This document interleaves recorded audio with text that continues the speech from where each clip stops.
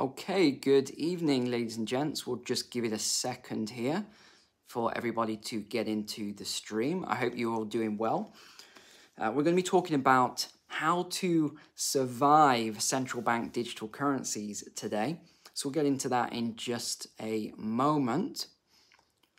I saw someone asking where I was. I'm in Madrid now in Spain. A lot of, and in fact, talk about the irony of the this post today, where we're talking about how to survive CBDCs, central bank digital currencies. And what are we seeing in Spain at the moment? We're seeing hundreds of thousands of protesters on the streets because of what I talked about in Friday's walk and talk, in that uh, some very interesting things that happened with the French, uh, the Spanish election. yes, indeed. So today's video then, let's get into it now that I can see everyone's gotten into the stream, is all about how you can survive CBDCs. Now, you might wonder, how has this post come about today? Why am I talking about this today? And it's because I keep getting questions all the time, and I mean daily, as well as seeing comments on the YouTube videos about CBDCs. So I'll tell you what they are in a moment for those of you that don't know. But what I'm noticing is that you seem to be concerned about this. This seems to be quite a big topic that everyone is worried about. So I wanted to um, take, I took about two to three hours today and just did some research for you. I put down all of my thoughts and notes on how to avoid these things so that you don't get trapped by them. So let's begin then. And let's just start very briefly and simply with what a CBDC is. This is uh, stands for a central bank digital currency. This is different to a fiat currency like a US dollar or a British pound or a euro in that this is a centralized currency. So how do we look at that? Someone asked me the other day, is it the same as Bitcoin? Is it the same as a cryptocurrency? The answer is no, because where a cryptocurrency is decentralized, a CBDC, a central bank digital currency, is centralized. So they're very, very different things. very different entirely. And the other thing you need to be aware of is that the central bank digital currencies will be owned by the central bank and the government. A lot of people still don't seem to uh, aren't aware because it's not you know public knowledge in a lot of cases that central banks are not all owned by the government. A lot of them are private. The largest one is the Federal Reserve. It is a private institution owned by shareholders. So it's really important that we distinguish this first and foremost before we go into countries that you can look at and options for how to avoid these things. So let me go on to the next point then, which is all about the issues around it. Because people always say, Neil, why are you so against CBDCs? What are the issues here? Well, I've put a list down. I've got um, got my notes here my trusty tablet. And the first one was the unlimited levels of government surveillance. And I remember when, you know, we were talking about this a long time ago. I always use we because I include you in this. And I explained that what was happening and what I thought was going to happen as time moved forward. And we're seeing all of these things play out now. We're seeing the levels of unbelievable surveillance actually happening. So, actually, before I forget, I almost forgot to, to mention the Black Friday sale is now live. So you can find the courses in the description below. And it was really crazy what happened earlier because it's only I think I said I'll do 20 or 30 coupons per day on the courses. Well, I put 30 coupons on yesterday, ready for today, so that I could say, okay, the, the thing's live. And I went on just before, that's why I was about 30 seconds, a minute late. And what I noticed was the coupons had already gone. So I need to just redo those coupons for you. But it is a crazy crazy deal. Um, any of the courses, you can get them below in the description. So that is the, um, the main thing before we carry on with the video. And I've just put loads of video testimonials on the, the information page as well. So we'll be running that this week for Black Friday through to Cyber Monday. And no, it's not a gimmick. It literally, you know, genuinely is 90% off the courses. This is the only time every year, it's just one week of every year that I do all of my courses at this price. So you can go and grab that now. And um, okay, with that said, let me continue on then. So what are the issues? Well, it's all of this surveillance. This is the, the big one. It's the restrictions on our financial freedoms as well, because they've said they're going to make this a programmable currency. And I remember listening to the BIS, which is the Bank of International Settlements meeting, and I was really concerned and disturbed by what they were talking about, really disturbed, because they talked about how they were going to program these currencies to make us comply. They actually use that language and they use COVID as an example and they used medical things as an example that if we don't comply in the future, the programmable nature of this will make us, it will uh, force us to comply. And they gave the example of people who, I'm just reading the notes here, here, here it is. He said, uh, an example was people who refused to get vaccinated during COVID we were able to sanction them. This is the words they use. We're able to sanction them by having employers fire them from their jobs or force them to get it. And this is the sort of language that I find really disturbing, really, really disturbing, this sheer level of power. Now, there's some more examples that I pulled out from different governments. This was from um, this was from London. So ULEZ was one proposal, which has passed the low emissions zone. But the other one that didn't pass, but I think will pass later on, is pay per mile for driving. So they've talked about this being linked to the CBDC as well. They also said that you will only be, and again, these are more extreme proposals, so I'm not saying these will pass, but these are proposals by politicians or senior people and they said that you'd only be able to spend your digital currency in your zone. What does that mean, your zone? Or 15 minute cities. So they didn't call it 15 minute cities, but that's what it is. They call it C40 cities, which are, we've done a video on this as well. C40 cities are 15 minute cities. Uh, the other one was meat rations, if you are consuming too much meat and over the carbon allowance. This was another one. Energy quotas for your household airline flight limits of one every three years. A lot of news agencies did very good documentaries on the one flight every three years uh, proposal. So I, I, you can see I've took a lot of time today because I really want to help you out with this situation because I know it's it's causing issues for a lot of people. A lot of people are concerned. So I have done a lot of research for you. I have put all my notes down here.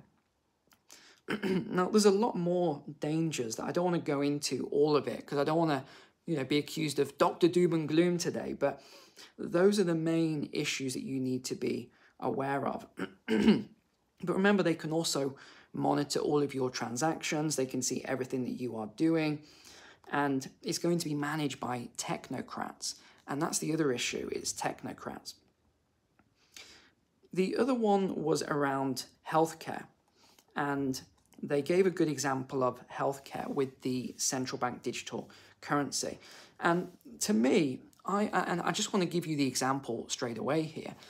I would say, especially if you're in a Western country, as I know most of my subscribers are, the government and the media is very good at scaring you and saying the West is the only country, it's the only way, it's the best country in the world, and other countries are, you know, they're hovels and they're developing and it's, they're crime ridden and all this other stuff um, what was the other one I heard earlier?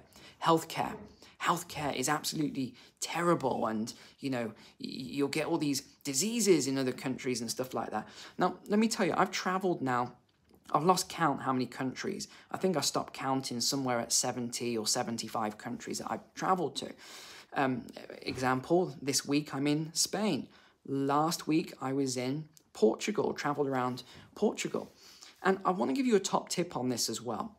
Because people ask me all the time, Neil, what country should I move to? I get this all the time. What country should I move to? And the answer is the country that is best suited for you. And I know that doesn't really make sense and there's a sort of not um, you know solid answer, but I know people who love Spain, right? I know people who love Costa Rica. When I was in Costa Rica, some people said, I absolutely love Costa Rica. It's the best country in the world. For me, I loved it. I loved the weather and I loved the, the people and the food and things like that. But I didn't feel like my heart was there. I didn't feel as though I could live there full time. Other people, you know, one of my favorite countries in the world is I, I, love Southeast Asian countries. I love Thailand. I really love the Thai people, for example. I love the food, the weather, the culture. I've taken a friend there before, and he said, I hated it. I couldn't stand the country. I could never move here and things like that. And so it's really all about what you feel most, most comfortable with. And we are going to look at countries as to who's doing CBDCs, who isn't, because I've made a detailed list here of all of them.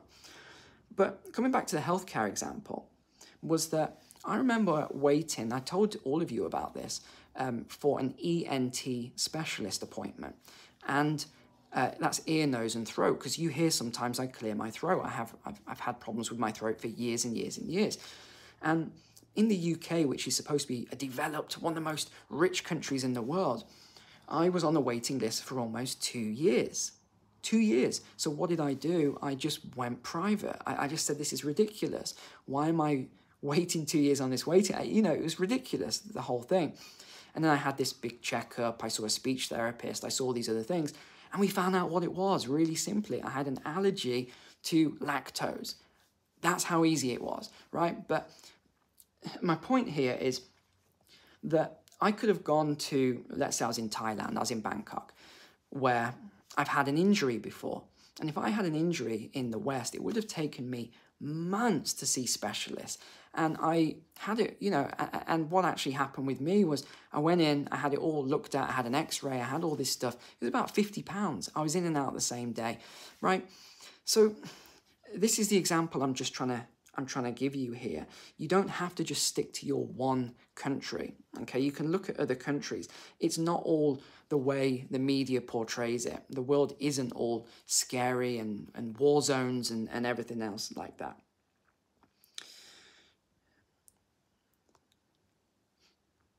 The next thing I want to move on to then is how we're seeing this movement of authoritarian countries. So, and, and you might you might find this bizarre that I'm going to give examples, things like the UK, um, European Union, the USA, Canada, Australia. These are all countries that if you if we'd have said this 10 years ago, I would have thought I was crazy. We'd have all laughed at where the, these Western countries are today and the restrictions of freedoms and privileges and, and how they treat us. 10 years ago, we would have thought that's crazy, but now what we're seeing is this authoritarian nature coming through. Um, and I just gave you the example of what's just happened in, in Spain, where the president didn't win the election. He came in second, but now he's won the election, right? You, you see how this is all going along. We're seeing things in the UK. We're seeing now David Cameron's come back. He's not an MP. David Cameron's come back. There's a lot of controversy around this appointment. How he didn't even, the first thing he did was he went to see Zelensky in, in Ukraine. Right, so we're seeing all this crazy stuff happening. We've got all of the, the you know, British people on the streets, and then we're seeing um, people coming in on, on dinghies and things like that who get hotel rooms and food and, and other things. It's everything's flipped upside down. And yet you go to other countries and you're not seeing craziness. You go to you go to other countries and you're not seeing, you know, a, a very strong woke ideology being pushed down people's throats. People, everything exists there in in um, in cooperation. That's what I see. I don't see people trying to force ideologies onto other people, right? So these are all the things that I'm I'm concerned about. And the CBDC links into all of this because once we get into it, the central bank digital currency, once we get into this, there's not really going to be a way out of it. So if, let's look at some countries then. so if you want to stay in the EU region, for example, well, you have got Denmark is one country. They were actually an early adopter of CBDCs and they showed a lot of interest in it um, especially around 2016. But after about 2017, they actually ruled them out, feeling that it didn't have much to offer the citizens. And they've never taken, and, bear in mind they have the krone. So Denmark doesn't use the euro, similar to the, the British pound. They don't use the euro. Uh, we'll talk about Poland in, in a second, also doesn't use the euro. This gives these countries more strength. But remember, they're still in the EU, so you've got to bear this in mind. Uh, Poland, I, I, I, some of my favourite people are Polish people. Um, always have been, always will be. And you look at Poland, have their own have their own currency. Um, they also are not looking to implement a CBDC at the moment. They've been very clear on this. They've done a, a, lot of pilot tests, but right now it's not looking as though it will actually happen. Serbia, one of the best countries in, in Europe at the moment for a lot of people searching for freedom. You know, you, you look at what they've done in recent years. They have done the polar opposite of what the EU and a lot of Western nations have tried to force onto people. Um, now, Serbia is on the doorstep of the EU, but it's not actually EU, which is another another benefit. Um, the only the only concern I'd have is that it is very close to Ukraine and Russia. So if anything kicks off, we could see an issue there. But other than that, um, Serbia is, is a country that isn't looking like it's going to do it. Um, but if we look at, say, Central America now, I keep hearing a lot about Ecuador. Lots of people are talking about Ecuador and how Ecuador is the place to go. Well, yes and no. Okay, they haven't done a CBDC, but if you look at, um, we have quite a few people from Ecuador in the private community, and they talk a lot about the crime and the gangs and all the things going on there. So I think it's it's going to be we're going to see a pattern here is that when you look at any country, yeah, the crime rate might be ridiculously high, but it's usually in the big cities. I was just walking not long ago in Madrid in in the center here, and it was not how I remembered it. I was here 10, 15 years ago, and I remember it was beautiful you know, really beautiful. So I was just walking the streets now. Maybe it's a different area of Madrid that I'm staying in here, but it's graffiti everywhere. Graffiti everywhere. There is trash all over the streets. There was almost stepped in some dog poo. Um, there was people, there was one person lying on the street. I mean, it's not what I expected.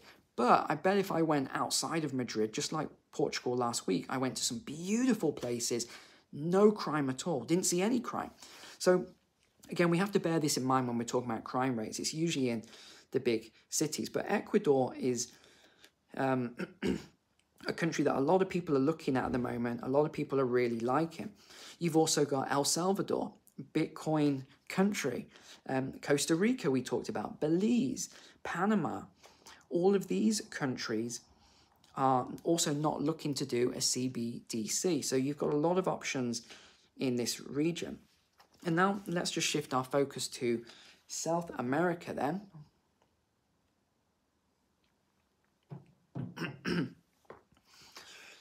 um, the first one then is Venezuela. However, Venezuela is dormant. Is Venezuela a country I would want to live in? Personally, no, it wouldn't. But I'm just giving, letting you know that is an option. Uh, Bolivia is as well is not looking for a CBDC. They've got very friendly immigration policies as well. And it's quite easy if you did want to get citizenship somewhere. Um, that is another place you could look at. Again, I would always look at more rural locations. I'm not talking about cities here when I'm using, using these examples. Um, let's look at Asia. Asia is really booming. If you look at the reports that have come out about where we're going to see the most growth in the future, um, it's Asia. You're seeing uh, growth in Africa and Asia. This is where we're starting to see growth. Where we're seeing stagnation and decay is Western economies. There's just too much debt in these in these places. But we've got Uzbekistan. This is becoming a big investment hub at the moment. It's not a country I've ever been to. I can't tell you anything about it. Uh, Japan, although the yen is uh, looking very shaky, but again, they're not looking to do a CBDC. Let's move over to the Middle East. We have Kuwait. They have the dinar. Remember, the dinar is one of the strongest currencies in the world. They're also not looking into a CBDC. They said that they would not like to pursue a CBDC because of the restrictions on citizens' freedoms. So some of these countries get it. They do. They really do get it. But again, it's a toss up. You've got pros and cons with every country. Uh, the Caribbean nations, they've already done most of theirs. The Caribbean nations have done their CBDCs. They've launched. And again, a lot of these launches have not been successful. Bear that in mind. We talked about Nigeria the other day. The Nigerian launch was not successful. It's about 6% adoption. We look at the Thailand launch on the CBDC. I didn't even know it had launched. I asked my friend, he didn't even know it had launched. He lives in Bangkok. Another one of my friends as well, very successful in Bangkok, he shared something with me the other day, which made me say, yeah, that makes a lot of sense. And he was talking about the cultural differences. So he's an American expat. He left America with his family and all his kids because he was just fed up of how it was all going and what his kids were getting taught in school and everything else. So he just moved to Bangkok in Thailand. And we went to visit him on the last trip.